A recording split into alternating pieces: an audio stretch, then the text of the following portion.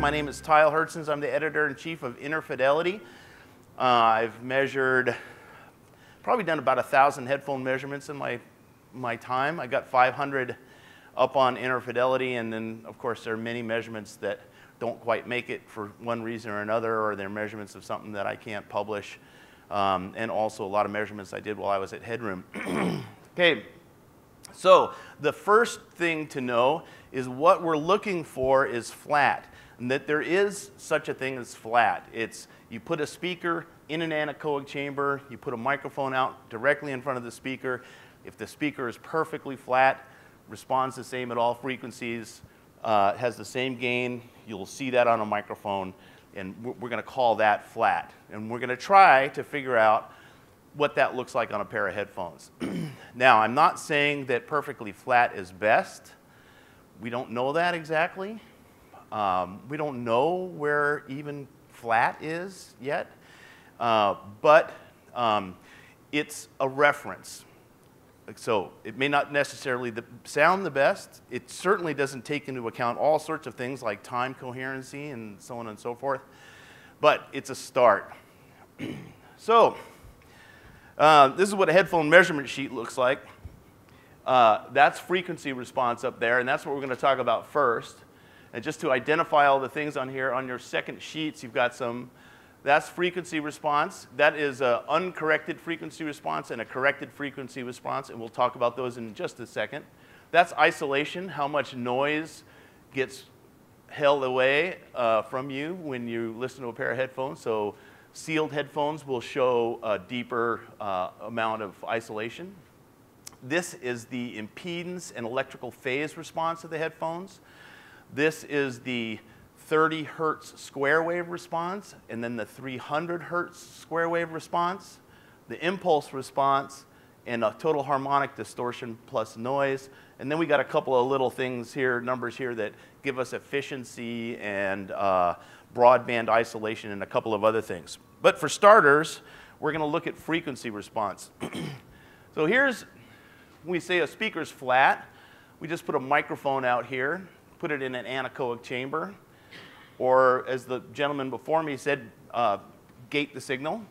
And uh, if this microphone measures flat, then we know that speaker is flat and all is good.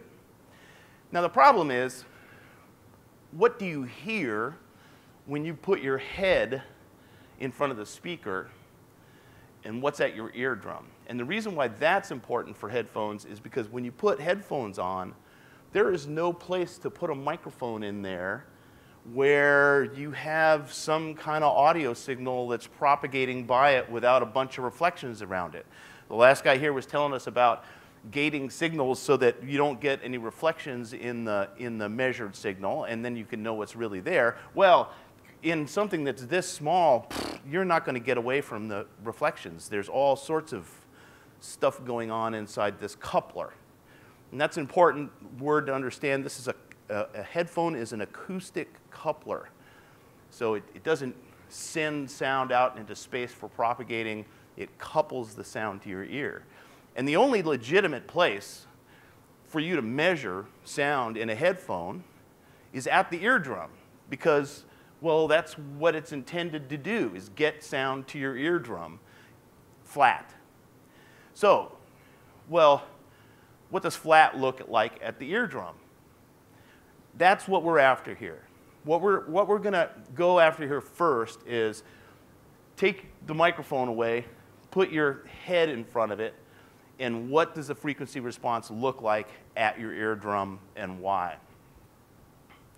So this little chart I just love because, man, there's only like one of them that I've found, and that's it. Um, this is uh, for a 45 degree angle of incidence, so sound coming from 45 degrees away from you. Uh, what the EQ of that sound is due to your body, your head and torso, the reflections off your ears, and so on and so forth. And each of these lines represent a different component of EQ that happens, and this big line is the overall uh, response. So for 45 degrees off axis, at the eardrum, you're going to have a 20 dB peak at uh, about 2.7K. Um, 20 dB peak. Okay, that's a lot. Um, but that's real. And that's what your head is used to hearing. And your head is amazingly good at figuring out how to hear something and, and making it right. Your brain wants you to be able to understand what you're hearing, and it tries very hard to make that work. And you've lived with this curve your whole life, and therefore it sounds flat to you. So, where does this curve come from? Okay, so number one here is the spherical head. So, your head has gain at high frequencies as you go up in frequency.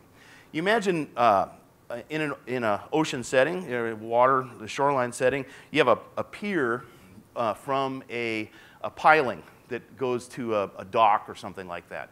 So you got water and a pier right there. And if you have big, long waves, they're going to go right past that piling completely unimpeded, uh, unimpeded. And the amplitude of the wave is going to stay just like it is when you look at it at the edge of the piling, which is the, your head, okay? But as the waves get faster and faster and faster, pretty soon the wavelength of those waves are getting to be about half a wavelength is about the size of the piling, and they'll start bouncing off. And at very high frequency, little ripples, there'll be a shadow behind the piling where the ripples aren't, okay? Because the piling is completely interfering with the, the signal coming in. So you have boundary gain, and that's as the frequency goes up, the amplitude of the signal on the side of the head, as it, as it has to reflect and go back the other direction, increases the amplitude of the wave next to the side of the head. Okay? That's called boundary gain. And boundary gain is frequency selective with the size of the object that's impeding the sound. So, as soon as the sound gets to be about half a wavelength is the size of your head, you start getting some gain, and in the end, you've got uh, some gain that stays about the same as the frequency goes up. So that's one effect. The second effect here is the torso and neck. So this is your body and your neck next to your head. Now, your body is bigger, and so you've got more gain over here. But there comes a frequency where you've got a body and a head, but you've got some space in between, and it acts as uh, like a filter. And, and so you actually have a, a point here where it goes negative in gain, and that's where sound is winding its way through between your neck and your head a little bit. And then up above a certain frequency, it, it starts not mattering anymore. So that's another curve that goes in there. So that's the head and the body and the neck. And now we've got these colored curves right here. Uh, three is the concha. And uh, we're going to have to flick back. Oh, no, I very conveniently uh, did this illustration. The uh, three is the concha, and that's this major bowl of your ear. That's this part right here. And five, this one, this big one, is your primary eardrum resonance that happens at about, I kept, I kept on saying 3.5, but the folks at, the, uh, at Etymotic, um, and, oh, there he is. Say, tell me it's 2.7, and I will absolutely go, okay, 2.7, you're the boss. Uh, and then uh, four, this is this little wobbly thing right here. This is the, the, the, the, the flange on your pinna making some reflections. So anyway, you add all this stuff up together and you get this response right here. You'll notice you're at 200 hertz down here. So it starts rising actually fairly low. Um, and I, frankly, don't entirely buy this curve, but, but there is a, a rise for a while till you get to one kilohertz, and then a, a much steeper rise up to 2.7 and then a, a, curved shape falling off till 10K. And at 10K right here, you're about baseline. So at 10K, it comes down to about the baseline level. And if you guys look at, uh, well, let's see if it's the next thing or not. Okay, so now we're gonna, we're, we're gonna talk about a problem. Well, that, that right there was for 45 degrees. And as you change this angle, all those curves change. and they change all over the place. And, and as you, your ear changes, different people's ears, those curves are going to change. So, so oh, we can draw a nice pretty curve, but you know, does it really apply to everybody? And you know, does a, you know, what is it? What happens if it's 30 degrees or all sorts of weird axes that it could be coming from? What do we, what do we pick? Well, in, in the world of audio engineering, there's been historically two adopted standards for transfer functions for audio, the free field and the diffuse field. Put simply, free field response is a sound coming directly from in front of you in an anechoic chamber. Okay? That's, so you have what's the response at the eardrum from the sound coming directly at you in an anechoic chamber.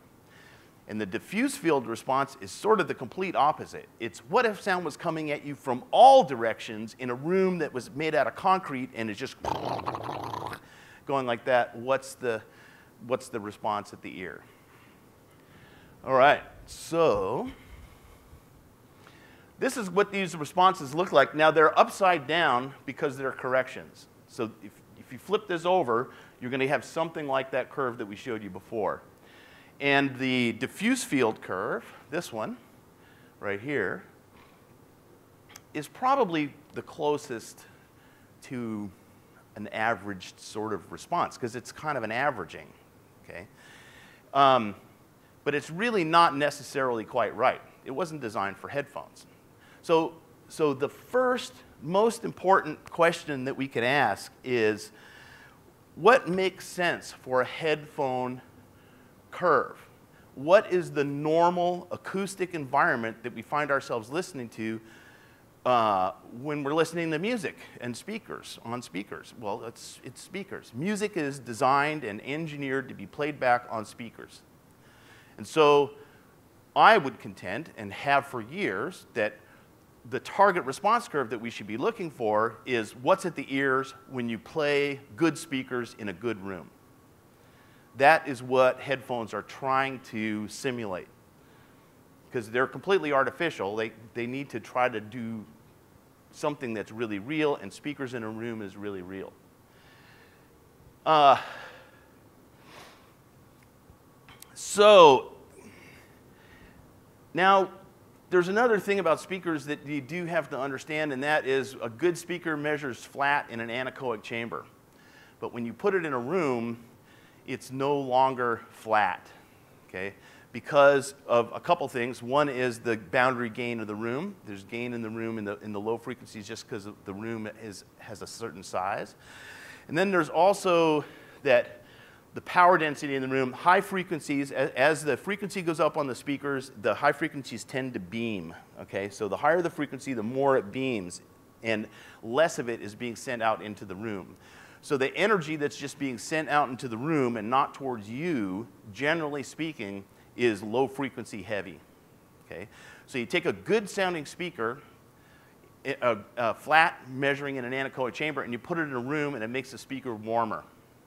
And we're used to that. And there's a whole lot of research done by Floyd Toole back in the day with uh, Sean Olive where they talked about this and they came to the conclusion that you don't want a speaker to be flat in the room. You want the speaker to be flat in an anechoic chamber and then take on the warmth of the room that you put it in.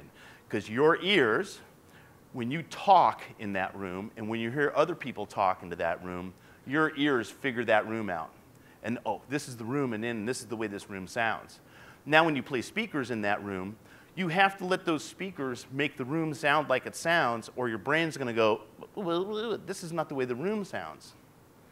And so it's important to allow the speakers to, to energize the room and to understand that that's, your brain perceives that as normal.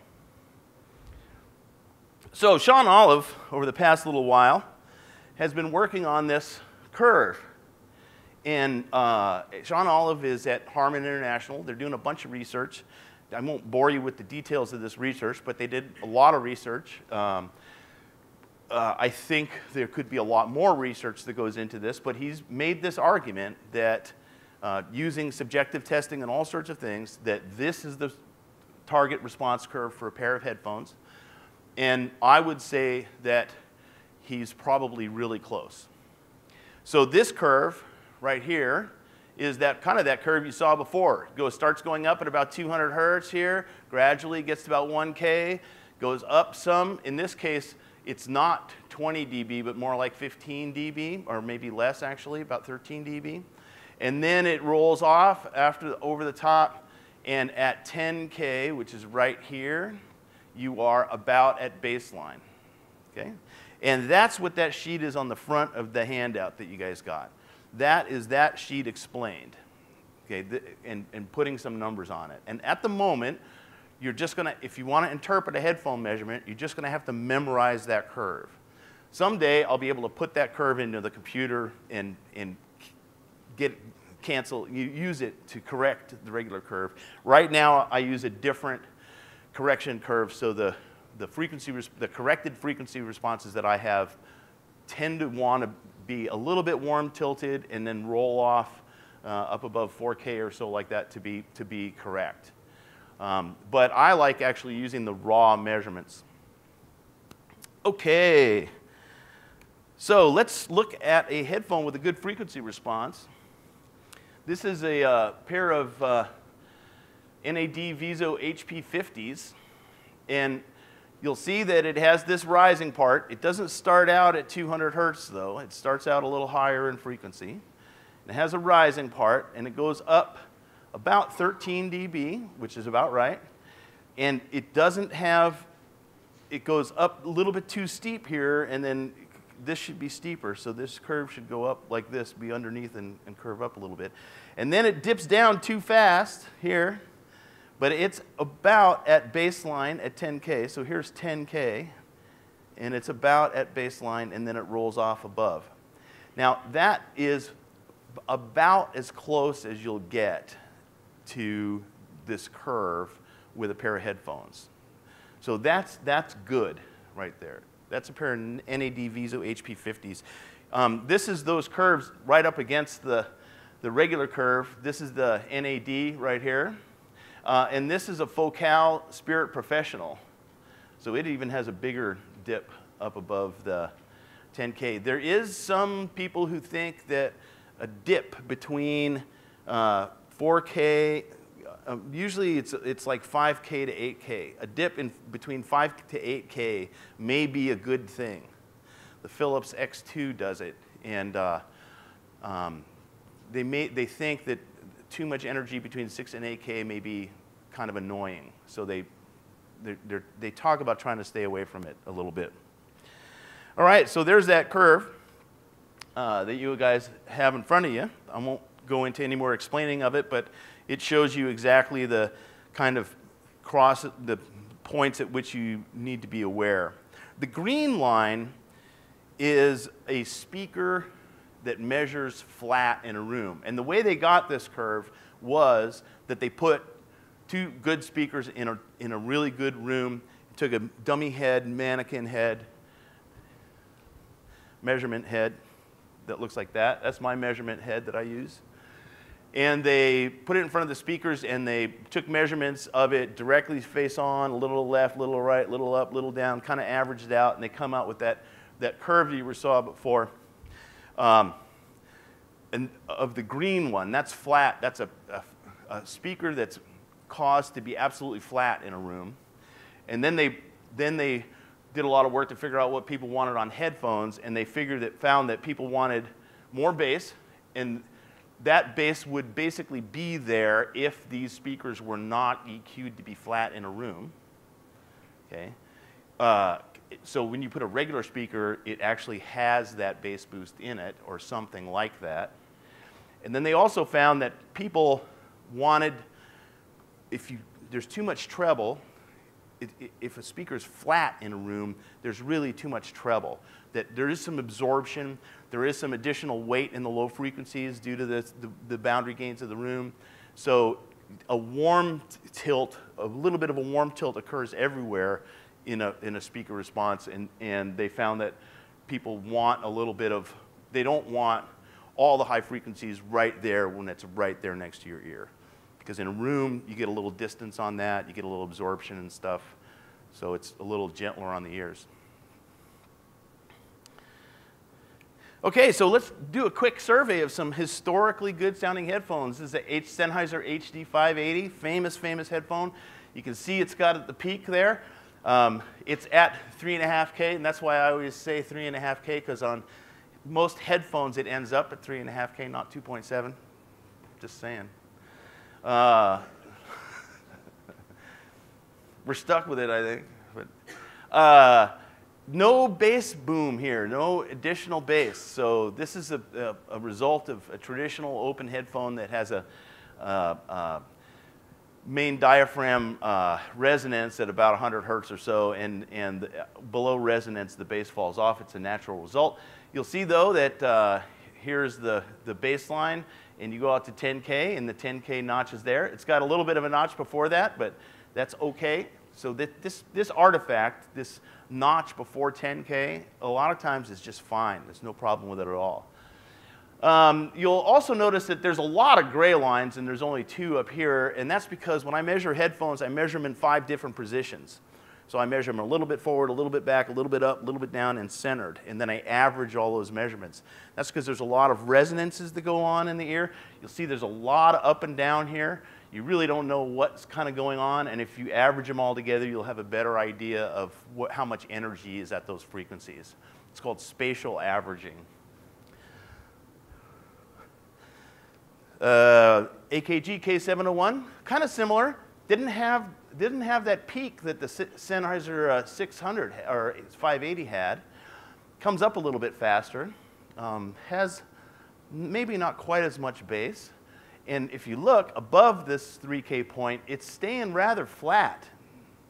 So this headphone is going to have a, a, be brighter through that uh, middle treble region. And the K701 is a brighter headphone than a, than a 650 that we just saw a moment ago. It drops off nicely, crosses the line at 10K roughly. Otherwise, it's, so it's other, otherwise pretty good, but it's going to be a little bit brighter than the 650 or the 580 that we just saw a moment ago. and then we have the Beyerdynamic DT880, uh, and it's got uh, more like the 650 up till the, this point, but it's not quite as high in that point. So this headphone might not have the presence, that closeness to the voice that makes you feel close to the voice, but it also at 10K is substantially above the baseline. So over here, it hasn't fallen off. So this headphone is going to have a lot of high treble energy, and which it does. So these, these, these three headphones, the 580, 7, 701, and 880 are famous for being this triplet of headphones where it's, you know, warm, middle, and bright kind of, but somewhere in there they're near neutral. And, and that's been, you know, for 10 years or whatever. Um, then we have the DT, uh, the Denon uh, D5000, which um, came along after the other three, the last three headphones, and people really liked. People thought, wow, this is something really special about this headphone.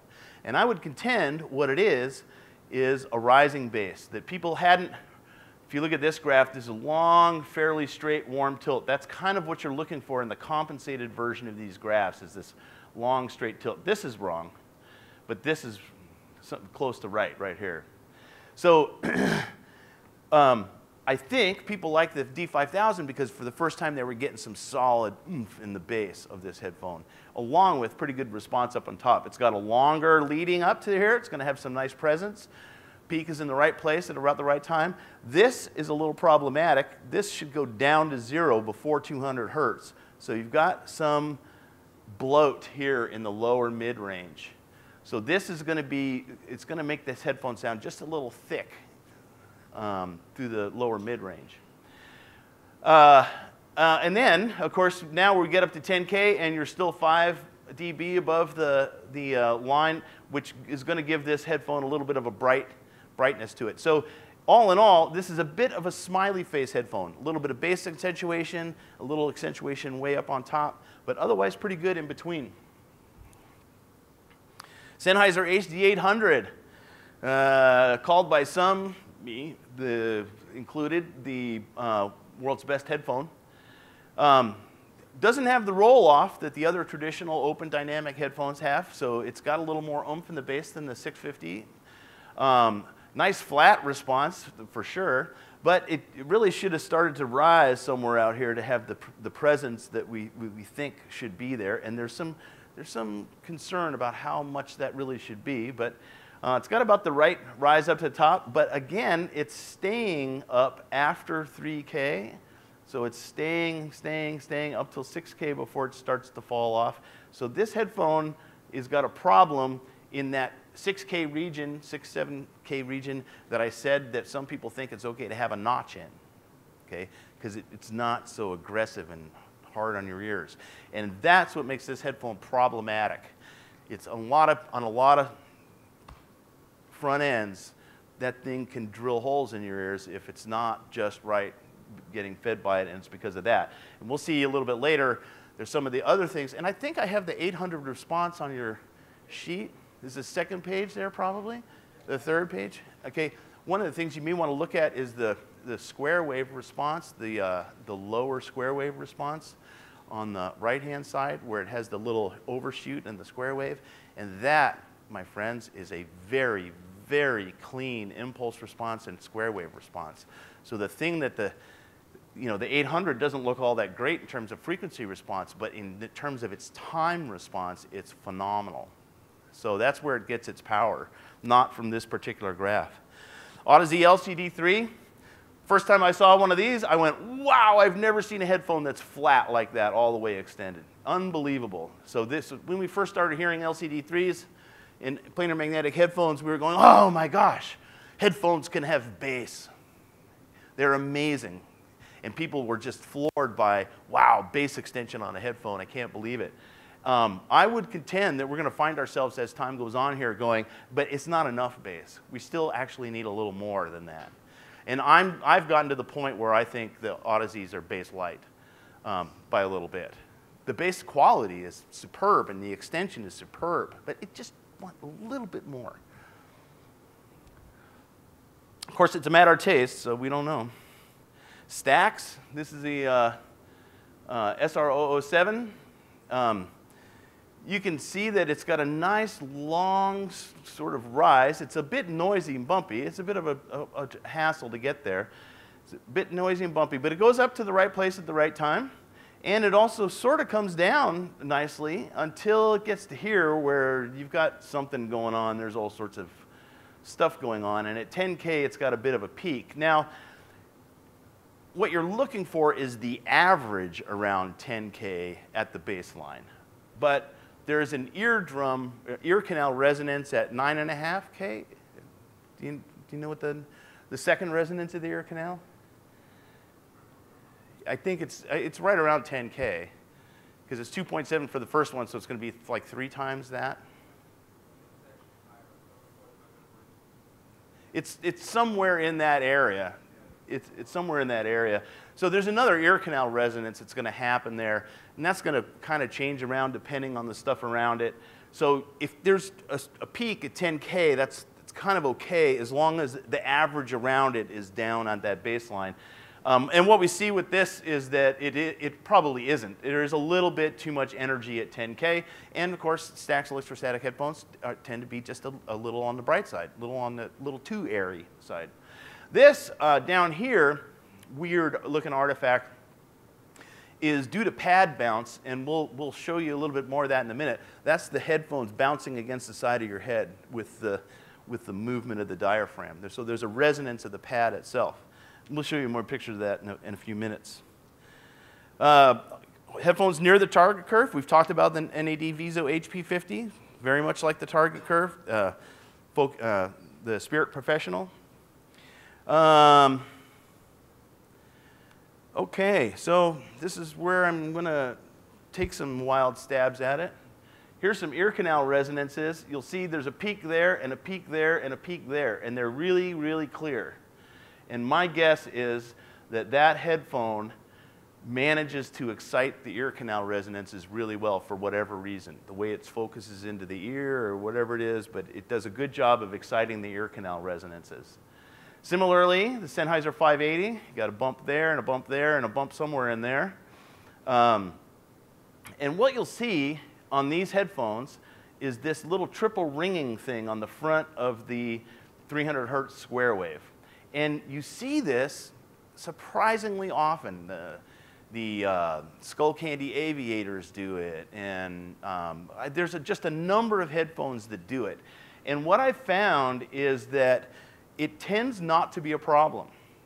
So when you see this, these three little rings that are going down like that, of about that period, and you see three peaks over here, it's ex probably exciting ear canal resonances, and your brain knows how to deal with that. So it, it tends, this tends not to be a problem, even though it looks like it might be a problem.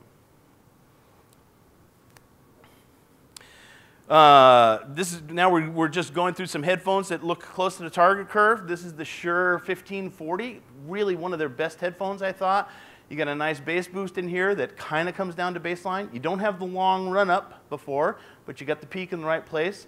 And you got a nice falling response afterwards. I find this headphone to be a little bit bright in here and a little bit too bassy down here, kind of a smiley face. It's a good headphone. When you see that, a headphone that's got a little bit too much bass and a little bit too much treble, it's probably a good headphone to listen to at low levels because it's got a bit of a Fletcher Munson curve built right into it. Philips X2, uh, this one is a recently designed headphone, and, and it, uh, Rowan Williams, who designed this headphone, is well aware of all these things that we've been talking about. So we've got a, a bass boost in here of a a, a, a, nice proportion and it stops at 200 hertz. This roll off, this is an open dynamic headphone. You can't get around it. Um, you have to be a sealed headphone to get around this, this uh, uh, fall off below the primary driver resonance. So they can be forgiven for having it. They're doing the best they can. Uh, got a nice little run up here. It doesn't have the rise, so it may not have quite that presence that that uh, it should have. And here's that notch. These are, the, these are the headphones where they very, very specifically designed in this notch to get rid of any harshness.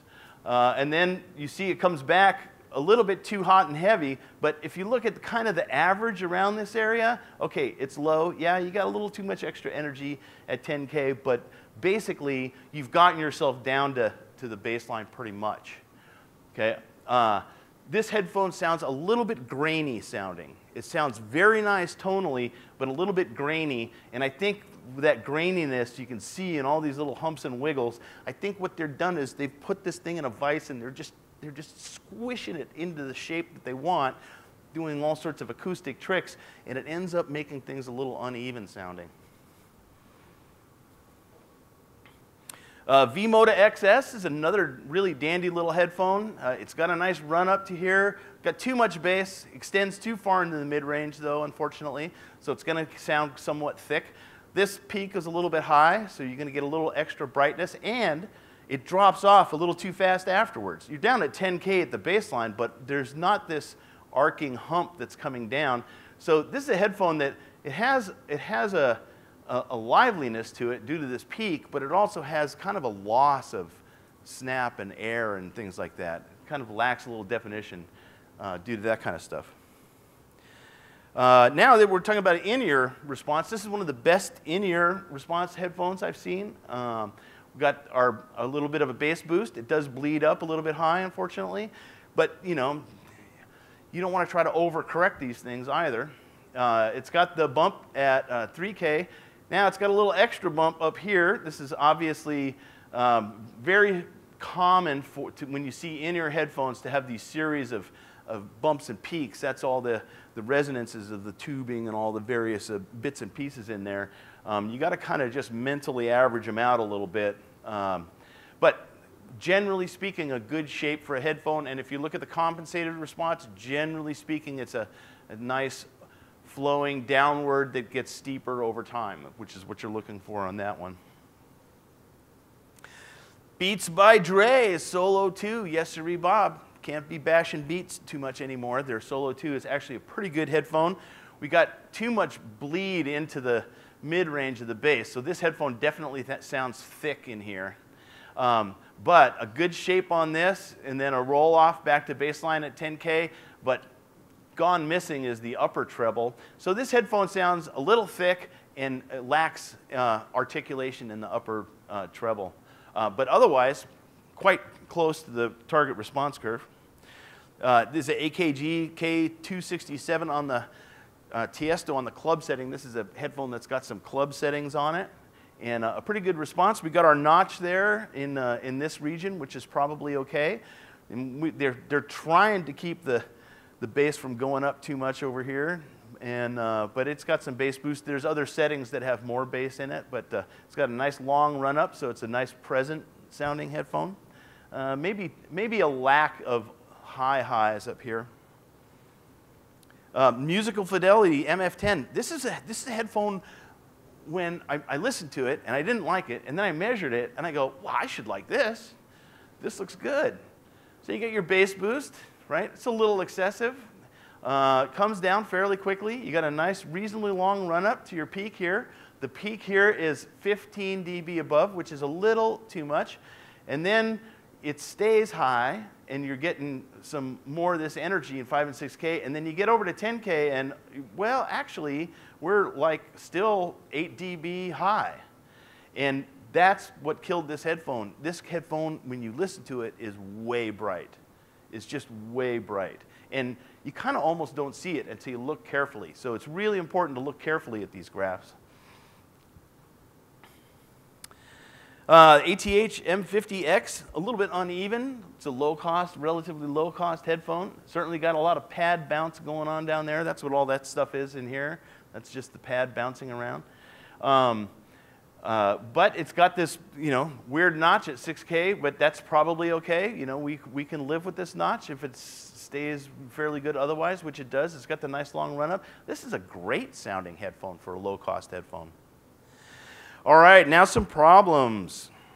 Okay, so here's, here's a, uh, a couple of IEMs, um, and I see this all too often, and it's just absolutely ridiculous, but you got a bass boost that goes all the way up to 800 hertz. I think the bass ends way lower than that. Um, and it's got uh, 5, 10, 15, almost 20 dB of bass boost. This is just ridiculous. It's a, it's a horrible.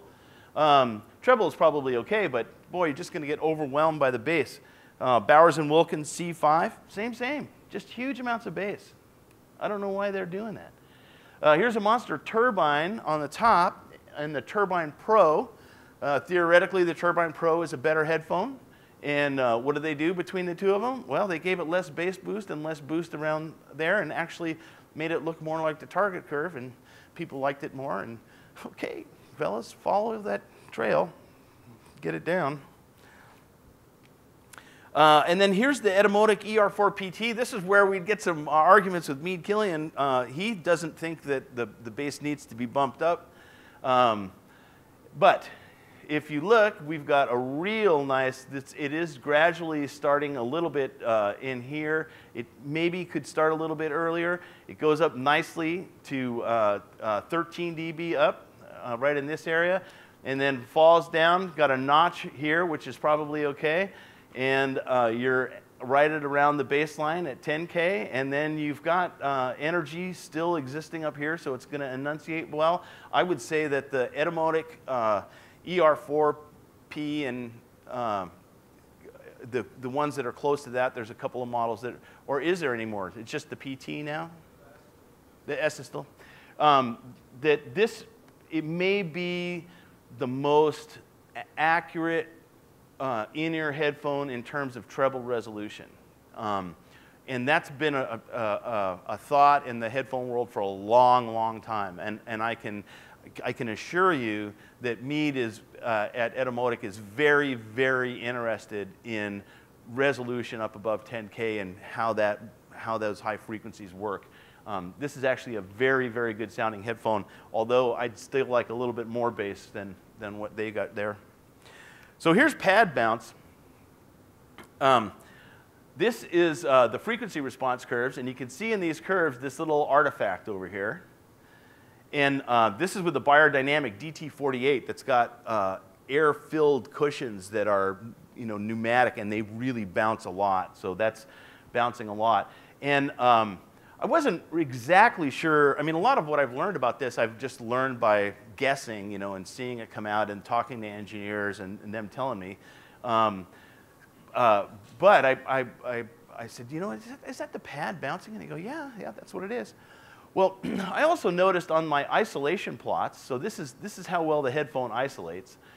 And I, I didn't understand this for quite a while, but you can see that this is 0 dB isolation. So I'm getting no isolation up to 100 hertz.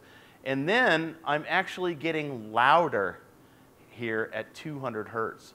So the headphone is worse, is not, is, is, not only are they not isolating, they're actually amplifying the sound at that frequency.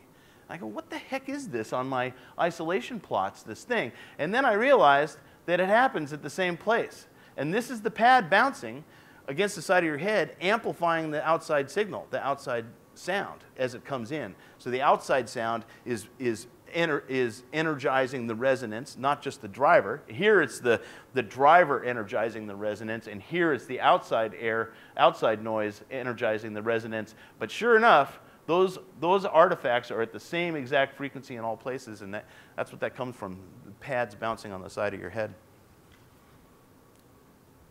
So I told you I also uh, measure headphones in a number of different positions, and some headphones are more picky than others about getting a seal. And this is a good example of a headphone that um, has a problem with the seal. And you look, the, the, the frequency response is changing over the entire range here as I move these headphones around. And this is really common in headphones that are very, very tightly sealed. So this is a headphone that has a very, very tight seal on the side of your head. And what happens is it either seals or doesn't seal. And we'll show you another picture of that in a minute. And what I will do is, a lot of times when I'm measuring a headphone like this, I've got some um, felt that I can stick in between the headphone and the, and the, and the uh, head so that I can make it like there's a controlled leak like your hair. And a lot of times it'll make this measuring a headphone like this less touchy. But the other thing is, is if I, if I have a really a hard time getting a headphone to measure properly, I will allow one of these. I could, I could have not had this artifact in here because I can, I can see that it's not sealed right when I'm, when I'm adjusting the headphones. But if I've gone through three different positions and it's been a pain in the ass every time, and I set it down and it's not sealed right, I'm going to go, fine, I'm letting this one go through because this headphone is hard to seal. So I will let, there is an art to, do, to making these measurements. There is a degree of control that I have over what these measurements look like, and I try to be as honest as I can in that it, to what the headphone sounds like. A lot of times I will stop a measurement, take the headphone off, and listen more carefully. How much is the bass? How is it changing when I seal? So I can get the feel for what the headphone is like. So when I put it back on, I'm measuring it so that it looks like what I heard.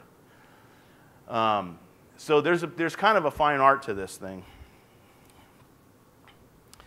Um, this is an on-ear headphone, and this is a situation where it just seals differently no matter where I put it. So it's just, it's just all over the place. And I just do the best I can for most of the measurements, and then in the end, see what comes out, you know? And um, that's what you get. But if you see something like that, it's because this headphone just doesn't like to seal on the ear very well.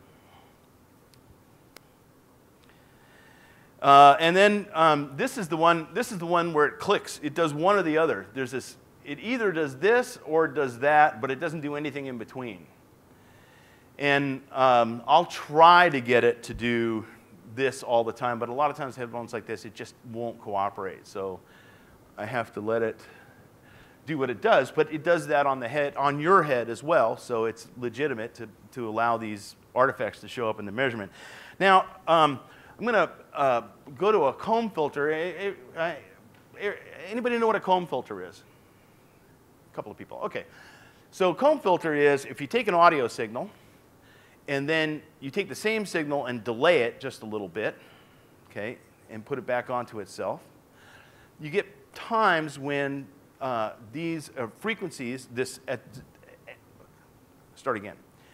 Take an audio signal and you go through a delay of X amount of time. And then you change the frequency as you run up, and you get to places where there's nulls where the half wavelength is exactly the length of that delay. And, and then it cancels out exactly. And so at 500 hertz and 1500 hertz and 2500 hertz and da da da da, you're going to get cancellations. Now that can happen in a headphone if there's sound that comes from the back of the driver around to the front of the driver and enters the area in your ear. And uh, ultrasone is famous for this. The, one of the ways that they try to synthesize um, the, their S logic, they call it, it's some of the sound from behind the driver comes back around in front and goes into the acoustic chamber. And what I've found, whenever I see artifacts that look like this, is that the headphones are horrible. So you can see up here, you've got this bump, and then there's another one right there that you can see. You can see it mostly this and then one more. So this is Beyerdynamic T1, but if you look at the uh, square wave response in time, you see these really sharp, nasty looking edges. And these, if you remember that other set of nice rings, are markedly different looking. These are jagged looking, and the other rings were nice sine waves just collapsing down. So these have a broader frequency component because they're not sinusoidal. Uh, here's another one. You can see these very distinct bumps. This is the AKG K812, and you can see how jagged the response is here. Similarly, the ultrasone, this is the ultrasone I was mentioning. Again, very, very much having these effects and having really uh, disturbing uh, uh, transient responses there. So that's one to keep out your eye out for. If you see these Humpty Bumpty things up here and you see this stuff, it, you're going to have a headphone that's tizzy and uh, not very good resolving. Okay, earbuds suck. As a class, there are no earbuds that sound any good whatsoever. These are the kinds that rest in the concha of your ear. They don't have any seal. They can't get bass into your ear, basically, because they're just too small. They can't move enough air, and they're not sealed. And so you end up with uh, no bass on the bottom end, and this, this is pretty good. This actually looks pretty good right here. This is a pretty good ear, earbud. But, you know, the kids, they want bass. So they're going to turn this stuff up. They're going to try to get something out of this. And they're going to end up with all this stuff really, really loud in their ears. And that's not good for the health of your ears to be listening to that. Earbuds are just downright dangerous. Well, Apple knew that.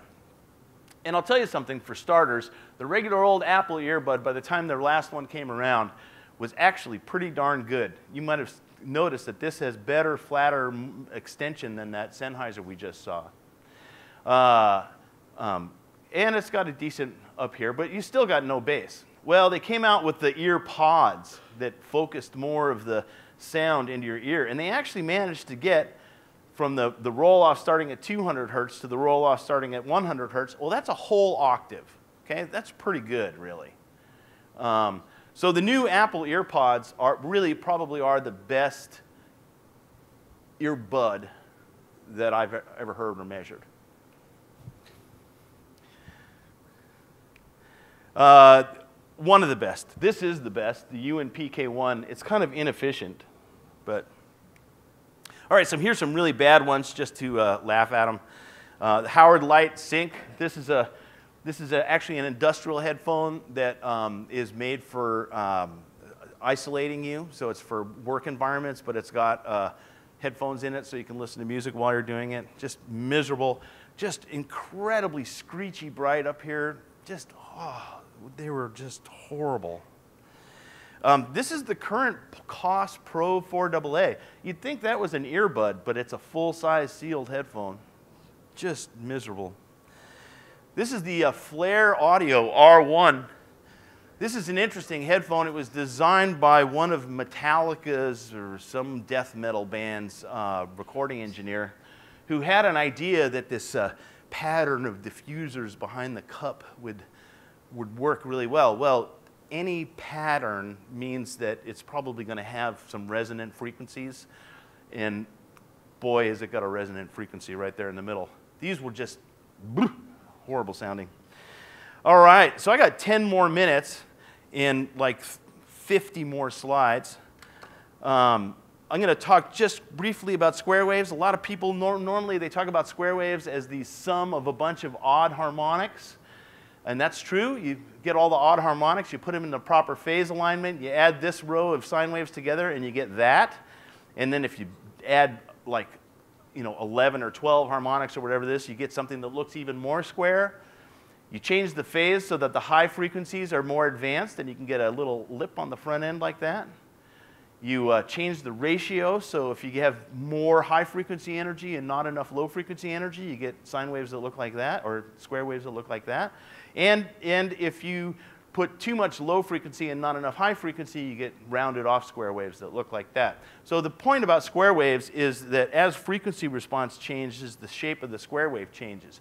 But it gets real confusing thinking about square waves as all the odd harmonics and, oh, does that mean that you can only measure the frequencies at the odd harmonics of the thing? Well, there's another way to think about square waves entirely, and that is like it's a switch. I'm going to turn it on, I'm going to turn it off, and then I'm going to turn it on, and then I'm going to turn it off.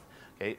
It's not made of odd harmonics, really. You could analyze it like that, but it's not made that way. It's made by turning something on and off. And what happens is the leading edge how fast it goes up this is slew rate limited. And that slew rate is going to be proportional to the, the band pass, the high frequency response of you know, how flat, how high something is. So how quickly it can get up on the leading edge is going to be totally indicative of the high frequency response. And then its ability to keep that energy up there for a long period of time is proportional over time to lower and lower frequencies. So when you look at a square wave, you're actually looking at the frequency response in another way. The thing is, is that you add in some phase stuff. So you can have some changes in, the, in this due to the phase shift um, that, where, that don't show up on the frequency response. Uh, all of this stuff that you're seeing today is on, on the InnerFidelity site. Um, in the well, I don't know if I can actually show it to you on here, but um, uh, on the top bar, on the nav bar, there's a thing called resources, and then it goes interpreting measurements and stuff like that. And then there's some links to articles that have most of the stuff in here. This is a chart that talks about the shape of the square waves and, and uh, what it means. Um, I'll draw your attention to this one. Just because it goes below the zero line like that, and this one, does not necessarily mean it doesn't have low frequencies. In fact, if it goes below the line like that, it means the low frequencies are there, they're just out of phase. So what this means is this may have plenty of bass, it's just going to be loose sounding bass. Uh, Sennheiser HD800, here again we're looking at the square waves. We, we have a lack of bass on the Sennheiser 800, which is indicated by this line falling here. And, but we have incredible resolution. You remember seeing those jaggedy square waves on the T1, the Beyer T1? Look how absolutely pure and clean this transient edge is. That transient edge is key for you to be able to tell where a sound is coming from because your ears cue on time, time arrival signals. And your ears want to hear that edge very, very clearly in order to be able to localize where the sound is coming from. Well, that's imaging. So if you have really fine leading edge response like that, you're going to get good imaging. If you have three leading edges on this squirrely thing, what, are your ears trying to cue on? What's, where's the time? It, they won't, it'll confuse them and it'll collapse the image.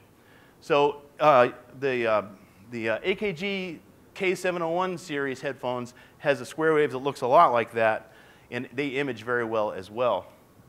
Here's the Audeze LCD2 it has something, uh, well, first of all, wow, talk about bass response. So that's a lot of bass response right there. And then it had this, uh, and this is pre-Fazor, it has these like double front end things. And this is one of those ones where it probably doesn't do too much bad to the sound, but it, it does do some stuff in terms of pinpoint precision imaging. Same is true with the, uh, the uh, Sennheiser HD580 that has that triple front end the triple leading edge. It doesn't, it doesn't harm it tonally and it doesn't hurt to listen to. It's not aggressive, but you lose some definition and the image isn't, it doesn't image quite as big. Grado PS1000. It's painful to look at, I'm sorry. Uh, Sony MDR-V600, this is an old school headphone. Got bass going out of phase there and uh, doesn't have a lot of high frequency response. Um, and then I'd start in THD plus noise, but I'm going to let you guys just ask some questions because I've got like five minutes left and, and yeah, I got like five minutes left, so why don't you guys just go ahead and ask some questions? Yeah. Pardon me? Bose, well, Bose, uh, I don't have any pictures of it uh, right here. I mean, I have, I have some um, I could get out, but the, the Bose products, the, uh, their noise canceling headphones are very, very, very, very good. Um, they, they don't measure particularly well, but most noise canceling headphones are just pretty horrible in terms of the way they measure. They do all sorts of weird things to the sound. And um,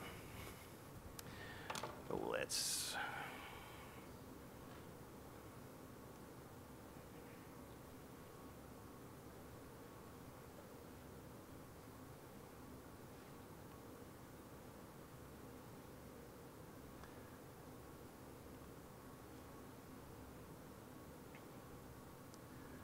uh,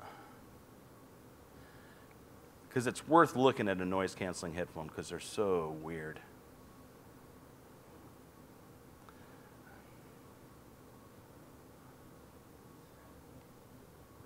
This is the my all graphs PDF. Uh, well, there are currently 736 measurements in the database here, so it gives you an idea of how many have been measured.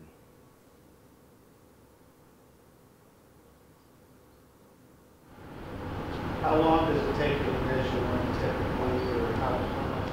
It's typically about 45 minutes if I do it straight. Um, so this is a audio noise canceling headphone. This is measured passively, which is actually pretty good. And then the noise canceling active, and this is one of the better ones, but you can look at the square wave and you get some pretty weird stuff in the, the high frequency response of the square wave. Um, there's some definitely some pretty weird ones. Audio Technica, look at the shape of the square waves. The treble is completely out of phase here, so it starts going down and then goes up. So it's, it, the treble is, the high treble is completely out of phase on that due to the noise canceling circuit. Um, Audio Technica noise canceling, you see it's really ragged looking. Also, look at the distortion figures right here this, you want all this to be below this middle line, below the 1, 1% line, and, and a lot of these headphones are going over um, that. Uh, this is the Bose Quiet Comfort 25. So this is a Bose noise canceling headphone. And what you'll see is that it's got good shape on the, on the frequency response. It's got, um, boy, that's just terrible, isn't it? Um, just, it, but this is not bad shape. This is pretty good shape of these square waves, um, all things considered. So Bose is pretty good for noise cancelers, for sure. There are other, there are other passive headphones, not so much. Yeah? What compensation curve do you use, or your answer, what's the main difference between your compensation curve and the market target? Uh, there, it's kind of subtle differences. Um, I use what's called the independent of direction. It's not an industry standard compensation curve. It's one that comes with that head that I thought was the best to use. I've come to believe that it would probably have been better to use the, the uh, diffuse field response um, because it has more of that presence region rise in it. Um, I, I, I will eventually, one of the things that I'm working on this year is trying to get people to sponsor, like people like Sennheiser and Philips and uh, uh, uh, big headphone companies to sponsor the, uh, uh, the development of an online tool like Headroom has where you can just say, I want to see this headphone, this headphone, and this headphone and compare them all together and it'll throw the graphs up there together. And then you can clip and copy that and put it in a post. Um, and I, I very much want to do that. That's one of my most important goals in life is to get this, but it's, tricky because I, I don't have the budget for it. So I got to convince some advertisers to cough up $30,000. And if any of you know any software companies that are particularly good at doing graphs and stuff like Wall Street graphs, please let me know about it because I'm going to have to find some people and get a quote on this. All right, my time is up, but I was gonna say you might wanna look at Tableau. Tableau, okay. Yeah, How has headphone amplifier output impedance had an effect on your measurement? ah, that one's too long to answer in the, the no time. Like, Impedance do you use for your measurements oh, the, the, these are all measured at like less than an ohm. So it, it, it's very little effect. Yeah. All right, thank you, everybody.